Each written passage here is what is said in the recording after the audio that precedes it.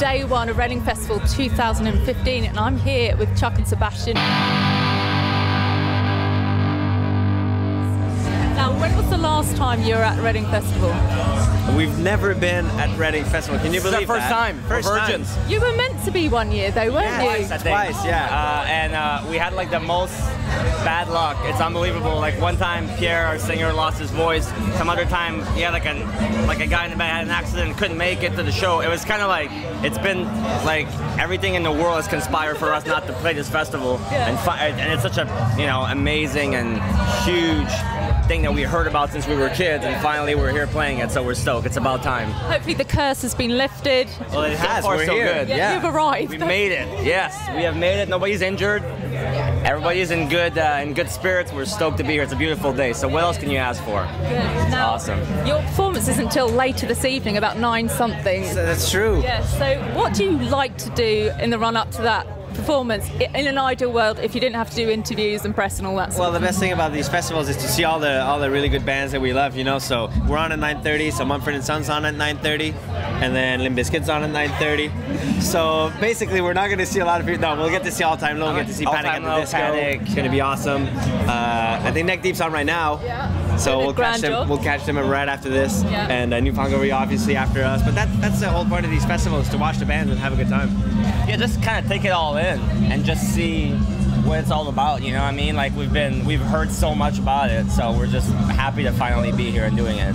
When you're at festivals like this and on Warped, are you watching like the younger bands and thinking, okay, they might be good to take on tour? We might be able to learn about something from them. Are you always looking and observing? And... Absolutely, you know, we like to find out who the competition is and make sure we like sort of squash them you know, before they get too big, you know, and take our spots. Like- no, it's true. Like we're always trying to, to make sense of the new bands and the new music that's coming up. So We go and cut their strings and mess up their equipment. you know. Sabotage. unplug the amps. No, you know what? It's actually it's it's. I think what's the coolest thing about being a band is that it keeps you really um, like you have to be to stay current and be on the pulse and know what's going on. So for me, one of my favorite parts about, playing festivals like you can have a chance to see some awesome new bands that are coming up, and you know you you go check them out. It's not necessarily that it, it's awesome to take them on tour and everything, but also just to see what's what's going on, what, Yeah. what people are liking, what how do they sound live, how do they do their show, and Hear new music. you can always learn. I think like the, the moment you think you got it all figured out, that's when you start to suck. So I think for us, we're always students of every band that we watch. You know, whether they're small or big or massive or whatever, you can always take something from that. You know. It's a good attitude to have. It is. Chuck generally has a very, very good attitude in life in general. Yeah. yes, thank you, Sebastian. Now, Boom is one of the catchiest songs I've heard in Yes. a while. Now, how do you guys do that? Because I was watching a montage from your Amsterdam show on YouTube yesterday, and every song is catchy as hell. What is the knack? How do you do it? That's our thing, you know. We That's just our want- trademark. Yeah, I guess we, you know, when we when we write an album, we just want to write, you know, the songs that we'd love to listen to, you know, and we're fans of very catchy music. Apparently, It's all like you know, for us, it's it all starts with with, with the melody. And, and, and the hook and you know uh, obviously the lyrics are really important but like that's how you shape your melody like we we usually start with like a, an idea for a title or, or a lyric and then we try to sing that in the catchiest most like most melodic way possible. And you know, we grew up on like the Beatles and Elvis Costello and Cheap Trick and all the punk rock bands from California. So when you mix that in, that it you know, it sort of becomes Simple Plan. You know, it's like it's it's always been about having, you know, it's like pop song but turned to ten and kind of like turn to eleven. like on steroids. That's know? right. Yeah, to eleven, not ten. Now, how do you know when it's catchy? Do you uh, do you have like catchy testers that you play it to your mate? I don't know, Fred, and he goes, "That's a catchy one," or do you know yourselves that that's a catchy melody? What's the test, the litmus test for a catchy melody? I think a bit of both. You know, we play it to people around us and like try to figure out what's their favorite songs. And usually, usually we can tell ahead of time which one's going to be everybody's favorite. You know. The big thing for me is like to know if a song because there's, there's a line right there's like a line of Oh, like, yeah. awesome amazing catchy and then like and knowing not good catchy. Yes. So Yeah, it goes like this, and then it's like good song, great song, catchy, super annoying, super good. so like it sort of splits out towards the end there. So the way to do it for me is like it, it can't just be catchy. It has to make you feel something in your gut. You know what I mean? Like you have to like it's it's our song. I always feel like they're not. j- I mean the aim or the, what we try to do. That the, the goal is to make them yeah like catchy on some level, but also like on a visceral level, make them make you take you somewhere and make you feel something and make you almost like there's a little bit of angst in it, and always un- underneath. You know, there's always a little bit of a like it's not 100% just happy. There's a little bit of there needs to be some emotion in the song. Yeah, Sweet and sour. exactly. Exactly. you know? So that's the key, I think, to writing like a song that people will sing. And and the test for me is like if you play for somebody and by the second, maybe last chorus, they have to sing along. Yeah. You know. So that's that's the test. so you better sing sing along later. or live. there, yeah. Hey, you know what? The ultimate test is when It's you live. play. Is when you play somewhere and nobody knows you, or like you're playing a festival and there's people that they know you. They're like, oh, I'm not sure about these guys, and you gotta convince them all to, you know, that's sort of been our specialty, that to go on stage and kind of win people over. You know, that's that's it's always exciting as a band because it makes you work harder. It makes you put on a bigger show and play harder and you know play louder and, and I think that's that's a cool thing. You embrace that challenge. Yeah, we love festivals Yeah. for that. Oh, I love it. Oh, it's amazing, you know, because you play. Some are your fans, some don't know, some are just curious. They're like literally just standing there, Yeah. and if you get get those guys to bob their heads, then you're having a good time, you When know. you see them change, that's a, that's a great. Yeah, like, like the best feeling is when there's a guy in the front row. Like, I'm just waiting for my, my, my favorite band. I'm just here holding my spot, and then by the like fourth, five song, he's like, that's when you know you Best win. feeling ever. You know. Best feeling.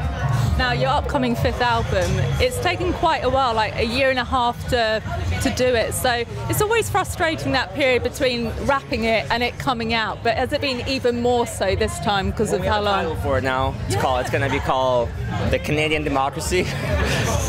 'Cause it's taking You're pulling my leg. reference to the Chinese democracy. Yeah, no, a- I mean, it, it, it is taking a while, but I think I think I think it's for the right reasons that it's taking a while. You know, we want, to, we want to make sure it's awesome. We're just finishing up a couple of songs, and you know, trying to catch some featurings here and there, just making sure the right songs are there in the right order, and hopefully it'll come out. You know, maybe before the end of the year, if not early next year. And When it's meant to be out. exactly, you you know, know, you know like we don't put out uh, records often. We do take time because for us, it's like they're a statement. They're not just like something you just pop every year. It's like we're maybe it's a little old school in the way that we think, but has, everything has to be perfect and every song has to be great. We wrote over like 75 songs for this record, and we're gonna keep like 12 or 13. So you know, like we're we really want we don't want to let our fans down, and we won't don't want to let ourselves down because you don't get like maybe back in the 70s or 80s, yeah, they're building like a new stage a new TV station.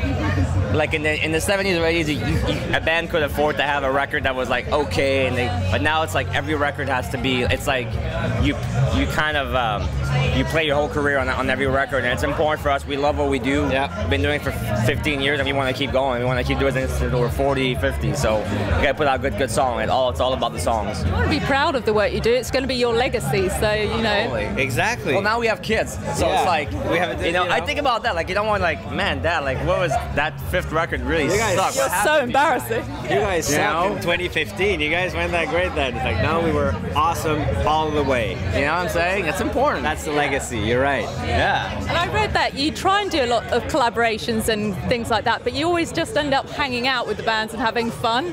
Have any of them actually made the cut? Do you think any of the? Well, you can see it in the Boom video actually that just came out. Like Yeah, everybody's loads, in it, yeah. you know. So yeah, that's we had pretty some- awesome. We had some really good cameos on that. You Yeah. know, from really good friends like you know Pierce the Veil and All Time Low and all that. PVRIS, blah, blah, blah. We tried to write some song on this record with some of our peers like that, and for whatever reason, uh, a lot of them didn't make the record. They were, they were, they were like good songs, but they're not like good enough.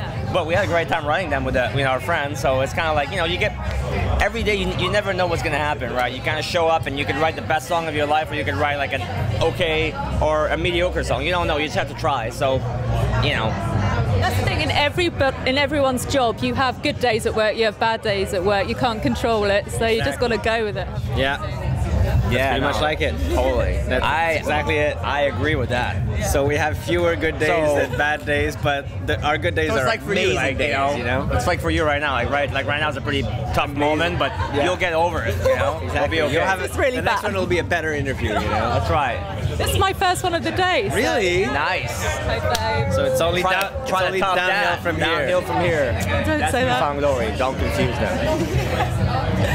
Now, just to finish up, you played at the APMA Awards. I Yeah. think that was like the exclusive performance, wasn't it, of the single? It was. That was the first time we ever played Boom live. Yes. It That's was, got to be nerve wracking. it was awesome. Yes, it was. Honestly, like that's pretty much the only reasons why we still get nervous getting on stage when we do like something completely new. Yeah. But uh, yeah, so we're gonna play Boom tonight, and now it's gonna be awesome. No, not nerve wracking at all. But it was cool. People loved it right away, and it's Yeah, we got to perform with uh, Yeah. with Mike from um, MXPX, as well. Came on Oh, for a friend of yours, isn't Yeah, yeah. We played one of his songs actually. That was a lot of fun. One of the first tour uh, we ever did with my first band with Pierre and I. We had a, a band when we were teenagers. Was opening up for MXPX across Canada. So it was like a full circle kind of thing. It was dope. Nice night then. Yeah, he's Yeah. great. We, we love him, and they're they're like they're one of those kind of like very seminal band of our scene, you know. So it was cool to do something with them. Yeah. My friend has an MXPX tattoo actually on him. There you There go. you go. Good taste. Good taste. Well, I'm going to let you go now so you can actually try and see some music perhaps. Sure, Yeah. nice. Lovely to meet you and have a great show tonight.